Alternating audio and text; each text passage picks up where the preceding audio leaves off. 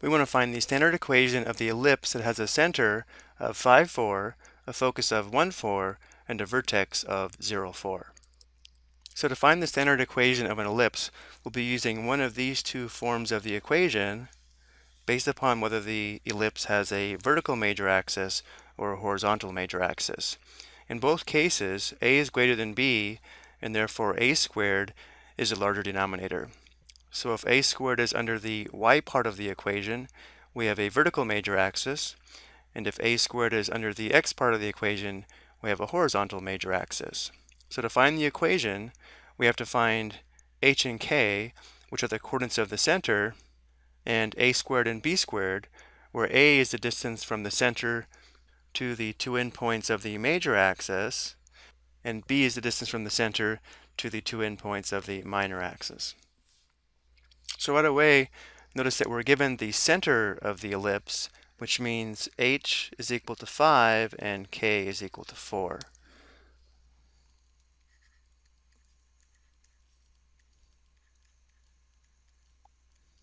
And now to find a squared and b squared, let's go ahead and plot the given information on the coordinate plane and analyze the results. So our center has coordinates 5, 4, which would be here. The focus has coordinates 1, 4, which would be here. Now notice how this focus is 1, 2, 3, 4 units to the left of the center. So this is the center, and this is one focus. So the other focus must be 4 units to the right of the center, which would be here.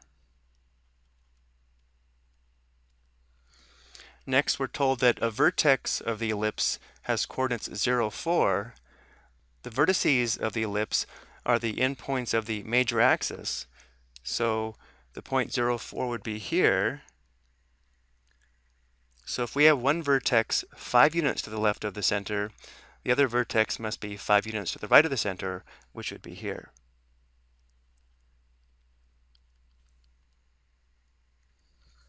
So right away, this tells us that our ellipse has a horizontal major axis. Therefore, we'll be using this form of the standard equation of an ellipse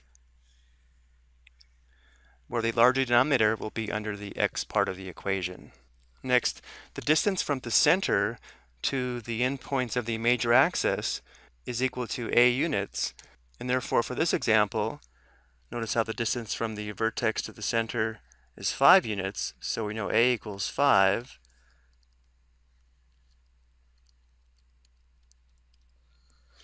And also, the distance from the center to the two foci is equal to c units. So notice for our ellipse, c would be equal to 4.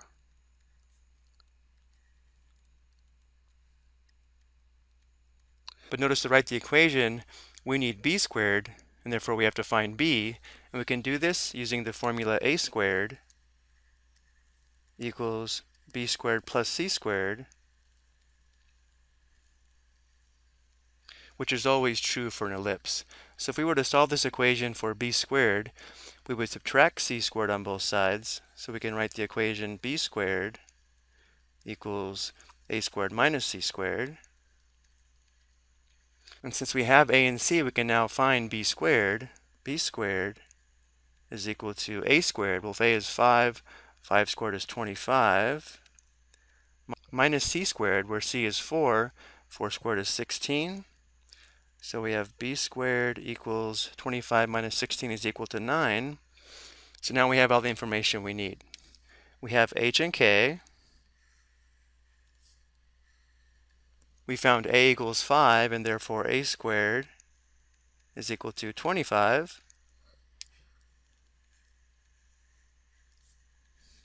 And we just found b squared equals 9.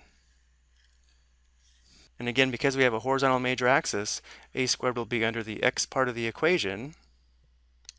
So our equation is going to be the quantity x minus h squared, or x minus 5 squared, divided by a squared, which is 25, plus the quantity y minus k squared, which would be y minus 4 squared, divided by b squared, which we just found to be 9, must equal 1.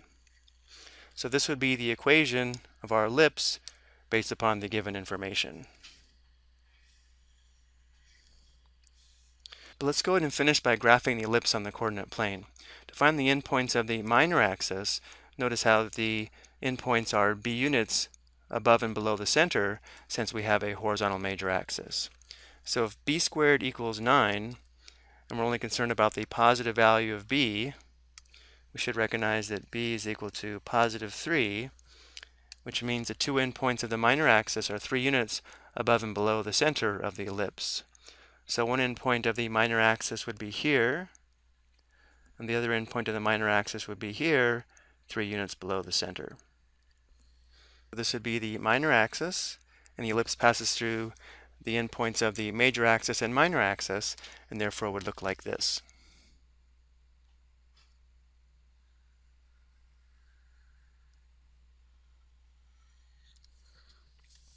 Okay, I hope you found this helpful.